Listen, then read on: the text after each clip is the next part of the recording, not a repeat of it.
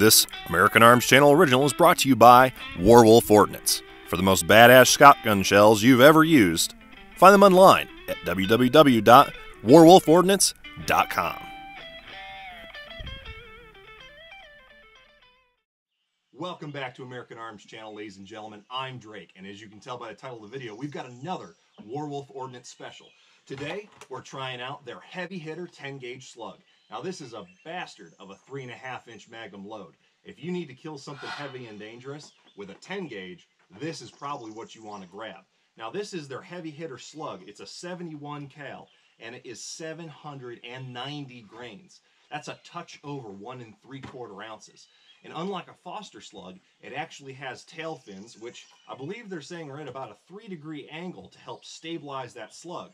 So what we're gonna do today to test the accuracy and the devastation on target is we're gonna confirm zero at 25, fire a three shot group at 50 to see what kind of accuracy we can get out of this Browning running the factory improved cylinder choke.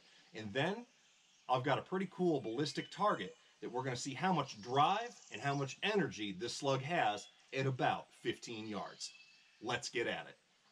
As always, these come in a uh, protective package, very similar to what Ballistic Products sells. Um, it is an excellent package. You can see this one, if you get a little bit closer look, is a little torn up um, from shipping, but uh, the rounds are perfectly fine. It is a great blister pack, and Warwolf made a smart choice by packing their rounds in it. So what we're going to do, these are loaded in a Remington hull. Uh, we're going to take a look here and see what we get at 25 yards. I just want to confirm zero, and then we'll go out to 50. Now, I'm not taking precision rest, so if I can put it in a pie plate at 50 yards, basically a 12-inch target, I'm to be pretty happy with that accuracy just off the bench with no rest.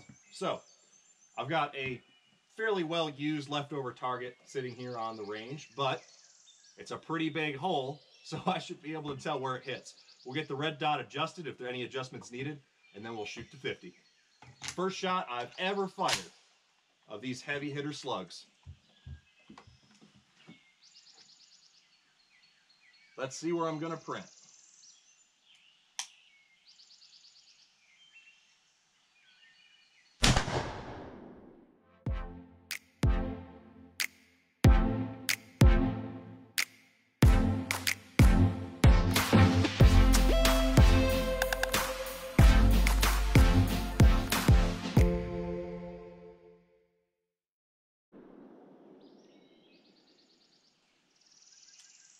So, we had a little bit of weak ejection. These are very long hulls, but uh, my Browning, since I've worked on it, is getting better and better. If we have any failures today, it's not the ammo, it's this thing. An Ithaca Mag 10 or an SP10 will probably run great for you if you're using a semi-automatic, or if you want to take all the hassle out of it, shoot a double barrel or a single shot. But uh, let's go take a look at what we've got. Well, ladies and gentlemen, this giant hole was not here before. So it looks like we're dead center on. Ignore all this. This is from before me. It's just leftover target on the range. Uh, so it looks like I can hold dead center, and at 50 yards, we'll be able to see what kind of accuracy we can get. Recoil wasn't that bad, so I'm not too worried about flinching. All right, so it looks like we're zeroed. We don't have to mess with our optic at all. So I'm gonna take three more of these bad boys here. And we're gonna load up and see if I can, one, get a good group down range and see if these have good enough accuracy for 50 yards. I think they're going to, but we'll find out out of this gun. Your mileage may vary. This is just a data point, guys. Take a look at it, and um, you know, you got to buy a box, try it in your gun, see if it works anyways. So even if it doesn't come out right, eh, might as well give them a try. They offer a lot and bring a lot to the table. I can tell you what, the dirt that jumped up behind that target, woof. I think we're going to have fun with the ballistic target. But anyway, enough gabbing. Let me get my ears in. One candlestick in the pipe. And two to follow it up. So, let's, uh, let's take aim at 50 yards and see what kind of accuracy I can get using the improved cylinder choke and the heavy hitter slug.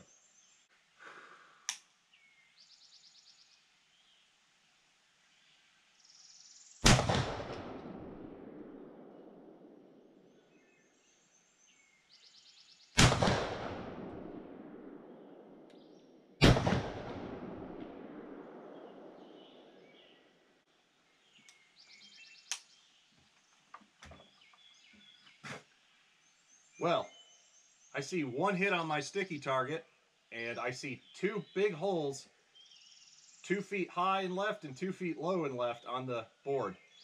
That's not so great. So I might, I might just go grab an ammo box to rest this off of because I feel like those two pulled shots were me. I might have jerked. Let's see. I don't feel like this would be that inaccurate of a load. However, it ran perfectly all three shots. So yay, the gold 10's working. Let's go check it out. Well, as we can see, one, two, three, and that is the order that I saw those holes appear, so I know that's how she went. So that's not a great group. About minute of elephant. So I'm pretty sure those first two shots are me, and I calmed it down on the third.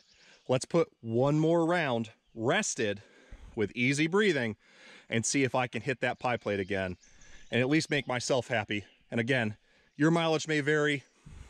I need to do more testing with accuracy and have a better serious setup, maybe off of a lead sled. But these things are walloping this target. I mean, the rubber pad is moving. There's dirt flying up behind it. No doubt that these things have energy. Let's just see if this Browning will put one more on that 12 inch target. All right, guys, got my t-shirt for a soft pad, got an ammo can out of the truck to run. Um, can't find one hull, it pitched it somewhere, but I'm gonna try and pit the ace on this one. I'll feel better about it, and I will consider it that those two shots that were way the hell off were me. Um, again, if you're interested in these, I highly recommend just go ahead, go to warwolfordnance.com, and buy yourself a box and try them out for yourself. You may like them, you may not, but if you really want uh, a slug that's going to perform on target uh, with increased potential over a standard one three quarter ounce 10 gauge Foster slug, this is the pretty much the only thing on the market unless you're loading something special yourself or you're using a regular old round ball which uh, also Warwolf offers a mega ball load, a 71 caliber mega ball, which is a straight up 71 cal round ball.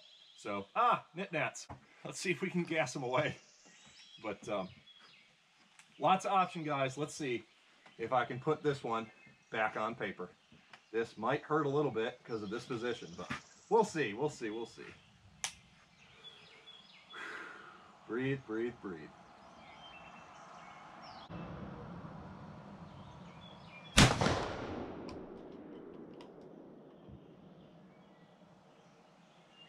That definitely pushed me around in that position. Kind of hurt, not gonna lie. A lot of energy behind those. Woof! I got a lot more 10 gauge shooting to do today too. So gonna have to go get a pad or something, put it on my shoulder. but I don't know where that hit on the paper. It sounded like it went right through that target, so let's go check it out. All right, so we've got our three holes, and I absolutely heard target hit so I think what's happened here is I've hit a little bit low and over here where this part of the rubber is torn up on this backer. So I think the real point of impact at 50 yards is down a little left with this gun and that choke, the improved cylinder. Um, but I know that I can hit dead center at 25, so that's what I'm gonna I'm going to be able to hit the target at 15. More testing's needed. I'll probably actually order a box from Warwolf myself and see if we can get better accuracy results on the paper at 50 yards to see how viable this is with my guns for hunting load. But you'll probably have better experience. Um, but I think it's going to group low left for this gun. I think that shot was pulled, but bigger target. We definitely get on paper. Again, guys, no holds bar. This is my result. But the shell is high quality. It's ejecting out of my Browning Gold. It'll work great out of SP10s and Ithaca Mag 10s because they run every 10 gauge load great that's factory. And it's definitely going to hit hard. A pump would be great, or if you're running a, a fixed barrel, so like a side-by-side -side or a break action uh, single shot, you might get better results too. I don't know. This is what I'm getting, so this is what I'm presenting. We'll do more tests. We'll circle back to it get more of these in and see if we can really hone down on where this stuff's hitting and what kind of groups we can get.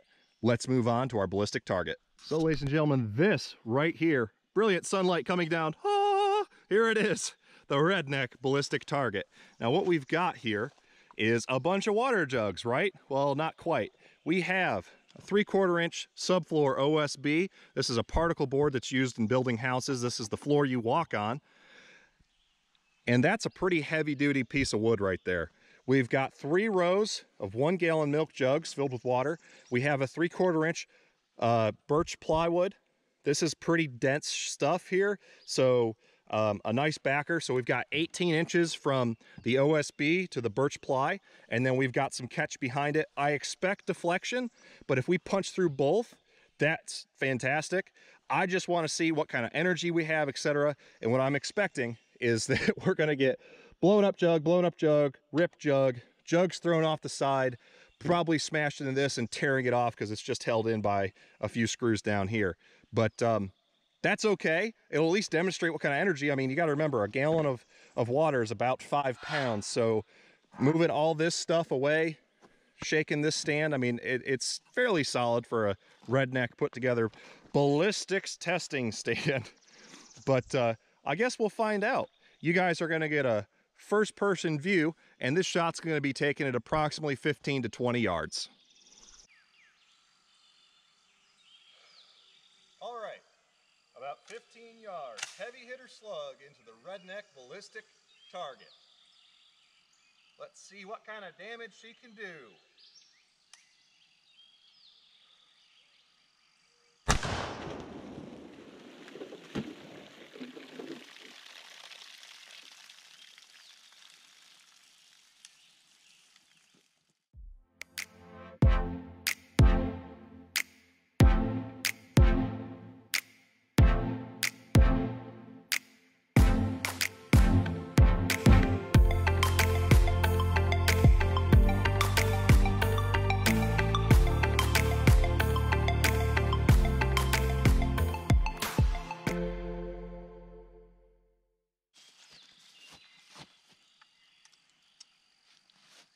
I would say that anything in North America that walks, breathes fire, and has hard scales would probably be no match for the heavy hitter slug. I hit about three inches left of point of aim at 15, which explains our left impacts at 50 yards. So uh, I might burn through the rest of these today. I don't know. If I do, I'll post a notification on the page to show you the group that I get. But oh my God, guys, we ripped through one, two, three, four, the birch plywood, and then all this back here we sent flying. I mean, we've got dead water jugs everywhere. Just shredded. And it doesn't even look like it deviated and it carried on through. I'm gonna see if I can find this thing, and I, uh, if I can, I'll put it at the end of the video, but wow. When you talk about deep penetration and high energy levels out of a shotgun, as advertised, guys. This is why I'm proud to say that Warwolf Ordnance, through donation ammo, has sponsored American Arms Channel. I mean, this shit is awesome. Pardon my French. Well, guys, would you believe it? I found one of the slugs. Uh, I believe this was the one we shot into the ballistic target. It was just off and under. And man, that thing is smacked flat. But looks like it retained most of its weight. We can see those fins there on the back side. That's a heavy, heavy hunk of lead right there.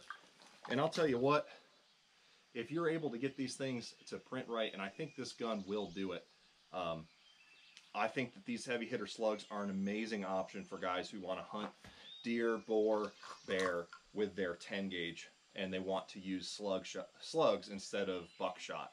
So, um, you know, obviously don't take the accuracy portion of this video into account. Your gun's going to do something different. Um, I think if I zero this and maybe I pad myself or give myself a lead sled, I can find out how accurate this gun is with these. I'm not going to do it out of the double barrel 10 because, well, uh, let's face it, that's not really a slug gun or a gun that's optimized for slugs. And so, you know, all I have to say is go give Warwolf Ordnance a look. All the products I'm testing for them right now in my evaluation hold a lot of value. For the 10 gauge at least, there is nobody else on the market offering those shells. So if this is something you're interested in, I highly recommend you go give it a look. It's not going to be as cheap as the, or I should say, as lower cost as the federal one and three quarter ounce Foster slugs, but you're getting a much higher quality product. You're getting a much more high accuracy potential with the slug design. It's heavier. It's going real fast, something like 1700 feet per second. Crazy speeds, which part of the reason why it's walloping me I'm trying to take a bench rest shot. Uh, but you know, if you're interested in that, go give them a visit at warwolfordnance.com. I really appreciate them sponsoring the channel with some ammunition donation. And as always, guys, I'm going to show it to you as it is. Until next time, guys, God bless. Keep your powder dry. I'll see you in the next video.